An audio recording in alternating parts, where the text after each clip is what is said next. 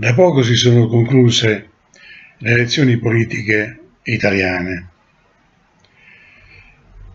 ma noi, conoscitori, amanti e patrioti delle due Sicilie,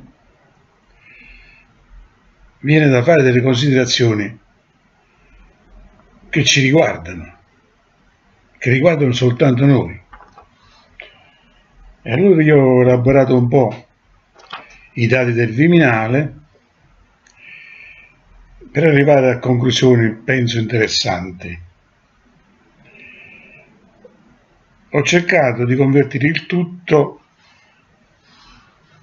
il dato dell'Italia attuale, nelle due Sicilie, che non sono, come sappiamo, soltanto le regioni meridionali, ma tengono, tengono importanti fasce di territori annesse assurdamente al Lazio con la Latina e Frosinone e Rieti.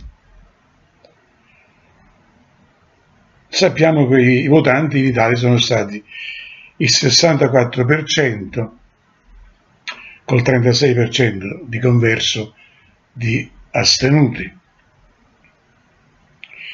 ma già facendo una proporzione tra le due Sicilie, vediamo che i votanti sono solo il 57%, con grandi differenze anche fra le regioni, dove in alcune è stata veramente bassissima la percentuale di chi è andato alle ennesime elezioni farsa, e col 57% verrebbe fuori il 43% crescente, come ho detto in certe zone, di astensione.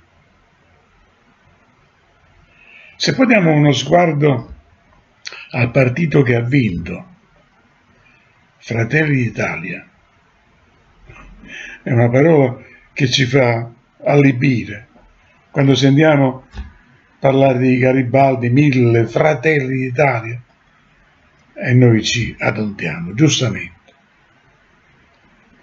Possono essere pure fratelli questi qua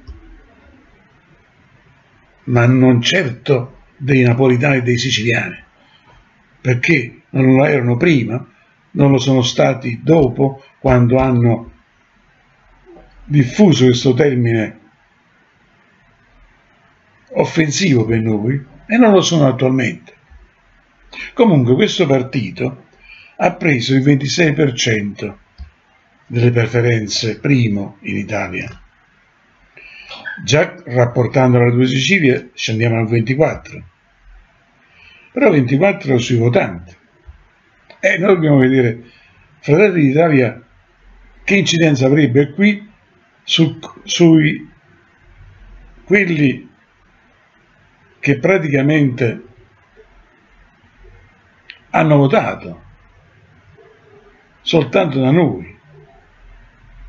E dal 24 con le astensioni che ci sono, scendiamo a un 14%. Se poi andiamo a guardare il colpo elettorale, la percentuale scende ancora di più, va all'8%. Questo vuol dire che praticamente un solo elettore ogni dozzina dei meridionali è riuscito a scegliere quello che sarà il governo prossimo dell'Italia.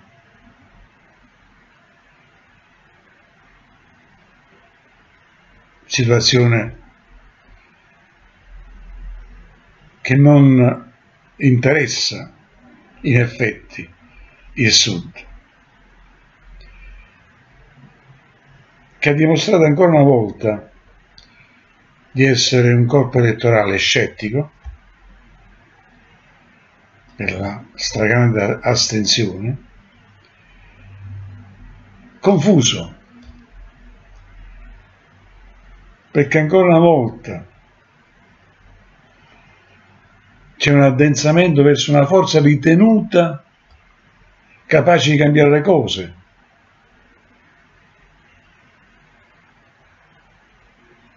Quello delle 5 stelle, che già ha tradito le aspettative,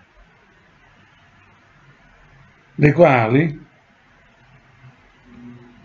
sono complessivamente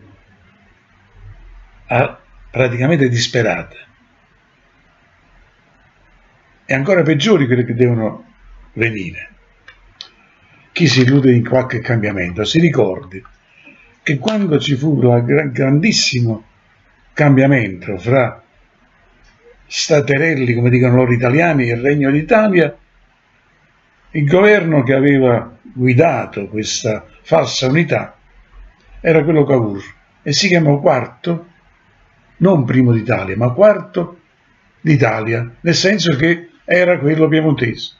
Cioè voglio dire che adesso cambiamo radicalmente un Presidente di Consiglio dei Ministri, questo non cambia, perché è sempre la stessa cricca antimeridionale che guiderà l'Italia.